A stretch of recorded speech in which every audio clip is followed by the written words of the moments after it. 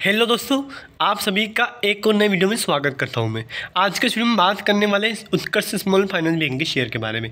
Banking sector का share है ये, क्लियर आपको बताया। लेकिन एक बार बोलूँ दोस्तों, एक पॉइंट है आज का, कि बैंकिंग सेक्टर में आपको आने वाले समय में काफ़ी उछाल आपको देखने को मिलने वाला है।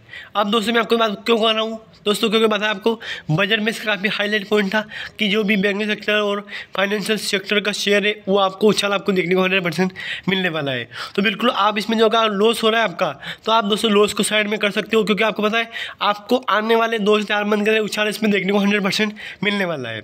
अब दोस्तों, बात करें टारगेट की टारगेट दोस्तों, आपको शॉर्ट टाइम के लिए लेके चलना है, कम से कम साठ रुपये के आसपास का, जो कि आपको दोस्तों जो लॉस हो रहा है वो लॉस से बहुत जल्द रिकवर शेयर करवा देगा। बिल्कुल आप इसको लॉस की कोई दिक्कत नहीं है दोस्तों कोई टेंशन लेने की ज़रूरत नहीं है लॉस के लिए। हो सकता है कि आपको लॉन्ग टाइम में शेयर आपको एक सौ बीस रुपये की प्राइस आपको आने वाले छः मंथ या एक साल में देखने को लिए मिलने वाली है।